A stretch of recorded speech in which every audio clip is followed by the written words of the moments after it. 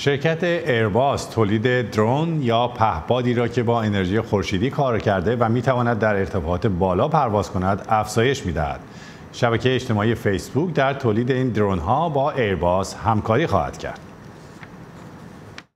درون شرکت ایرباس به نام زفیر که در آسمان آریزونا به پرواز درآمده است این درون بدون سرنشین که با استفاده از انرژی خورشیدی کار می کند و تا ارتفاع 21 کیلومتری زمین بالا می رود تا کنون هزار ساعت پرواز کرده است. این درون در روز با انرژی خورشید و در شب با باتری هایی که انرژی خورشیدی را ذخیره کردهاند پرواز می کند و می تواند حدود دو هفته در آسمان باقی بماند. I think it's a mixture of two things. I would think on the ultralight composites. این ناشی از دو عامل است. اول استفاده از ترکیبات بسیار سبک در ساخت آن که موجب شده وزنش کمتر از 75 کیلوگرم باشد.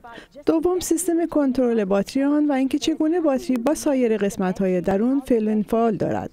به این معنا که چگونه در روز ما انرژی را در آن ذخیره می کنیم و در شب به آرامی آن انرژی را آزاد می کنیم. فاصله میان انتهای دو بالا آن 25 متر است که به حفظ تعادل و جذب بیشتر انرژی خورشیدی کمک می کند. این درون که در ارتفاعات بالای ابرها و ترافیک عمومی آسمان حرکت می کند کاربردهای مختلفی دارد. از جمله بازرسی مرزها، نظارت بر کشتیرانی و شناسایی آتش سوزی های جنگلی.